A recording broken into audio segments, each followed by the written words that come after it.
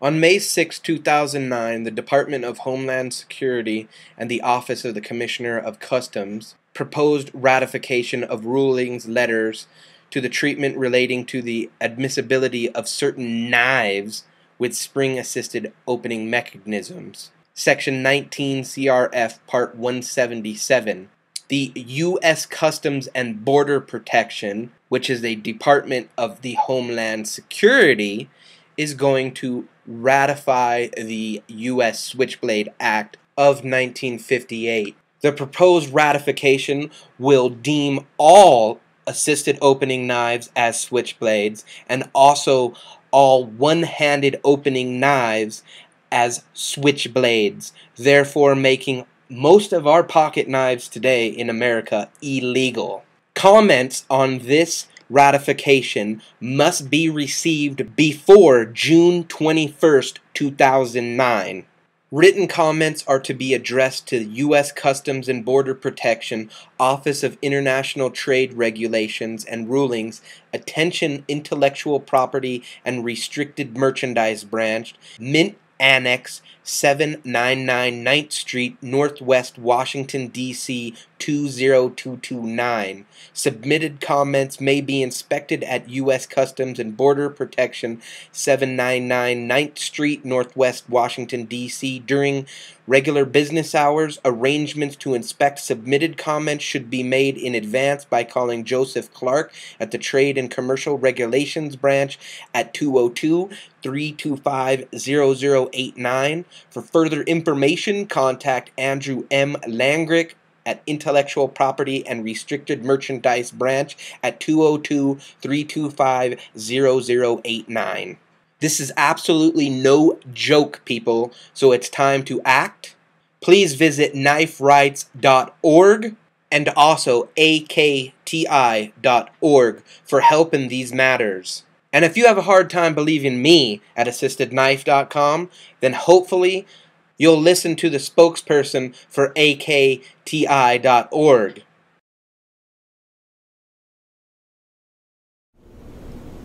Hello, I'm David Kowalski, the Communication Coordinator for the American Knife and Tool Institute. We've been in the business for the last 12 years of trying to protect your knife rights and the knife rights of the entire sporting knife industry.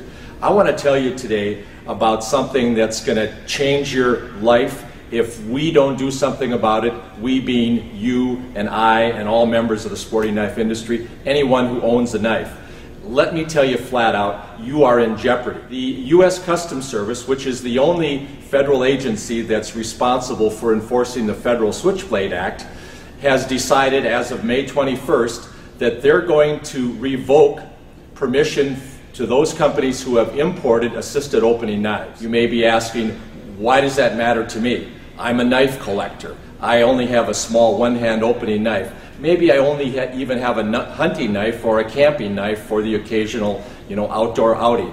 Maybe I'm an EMT that has a knife that I use on the job. What does this all mean to me? The reality is that if a knife is banned from coming into the country, then customs, in effect, says now this is within our definitions. It's now illegal to use or, or transport this knife across state lines so if you live in a state, for example, where an assisted opener or a switchblade is legal, uh, you cannot go into another state with that assisted opener because now you've, you've, you've transported a switchblade knife across state lines. You're in violation of federal law. What if you don't own just an assisted opener knife? What if you have a one-hand opener? What if you have an old Boy Scout knife? The, the reality here under the new proposed definitions is that customs is proposing to so broadly redefine what a knife is and what a switchblade knife is that virtually every folding knife is going to be labeled a switchblade knife. Therefore, whatever folding knife you have in your pocket, if this goes through, is going to be a switchblade in their view. Now, the reason I say that is because if you read their very lengthy revocation document, it is full of brand new definitions that mix the whole knife world together. Uh, it's like an alphabet soup of, of legal definitions. Switchblade knife, historically, is a knife that is um, uh, opened by a button on the handle. But the new language talks about inertia, talks about gravity, it talks about uh, opening the blade part way and then flipping it open uh, using, in effect, stored inertia. There is language in here that, that basically encompasses every other kind of definition of every other knife that we're aware of. And if we roll that all together, and now we call all this new language a modified switchblade statute, everybody's in jeopardy. The sporting knife industry, uh, through the American Knife and Tool Institute, is putting together a very strong and dramatic action plan here but you as an individual are going to have to be part of that action. We're going to put together for you, the knife owner of any kind of knife, some model letters, some recommended language, some deadlines by which to write or email your letter, and we're going to tell you where to send that letter so that we make it easy for you to register the fact that you are one of potentially 100 million knife owners in this country and you're concerned about these new rules. You don't want to lose your knife. You don't want to be labeled a criminal. You don't want to have to hire a defense attorney to the tune of thousands of dollars. You don't want to have a blemish on your record.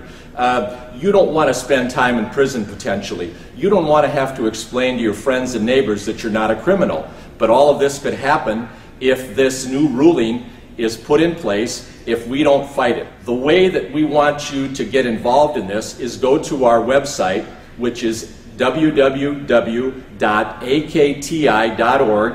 and right there on the homepage, you're going to see a box that says Become a Grassroots Supporter. It's a free program. You go in there, you give us your name and email address, and you're on our hot list. That's where we're going to communicate with you. You're gonna, we're going to tell you what to do, how to do it. We're going to give you the tools to do it, and all we're going to do is ask you to take some action. Don't sit back. Don't wait for the next person to do it. This is your knife. This is our chance to fix something that, if, is, if it is not stopped, will not stop. Everything that happens from this revocation or this proposed revocation will flow downhill. Um, you may only be left with being able to hide your collection in your closet if we don't do something about this. And I'm not given to hyperbole or exaggeration. I am not exaggerating, ladies and gentlemen. This is that important. Your involvement is that important. You will not get a second chance on this. The, the, sporting knife industry will not get a second chance on this. So please become a grassroots supporter. Help us to help you. Thank you very much.